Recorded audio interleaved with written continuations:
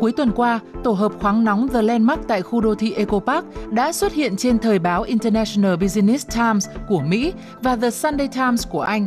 Đây là một trong những dự án thuộc loại hình bất động sản hướng tới chăm sóc sức khỏe, nổi bật là công nghệ khoáng nóng onsen, được chú ý thời gian qua trên thị trường. Ngoài chủ đầu tư trong nước, dự án còn có sự tham gia đầu tư, vận hành bởi các tập đoàn lớn đến từ Nhật Bản.